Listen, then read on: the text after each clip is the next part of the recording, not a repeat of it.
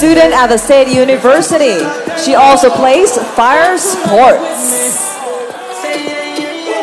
Russia.